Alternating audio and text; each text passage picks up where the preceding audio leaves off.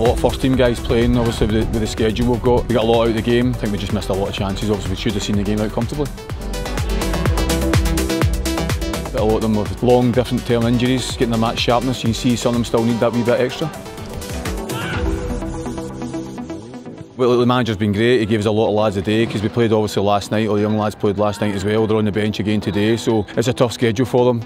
Just getting minutes in for the first team lads, making sure everybody's available for the, for the first team games. And at our level as well, it's just development. The key thing is we want to win games also. So it was frustrating a little bit the amount of chances that we did miss.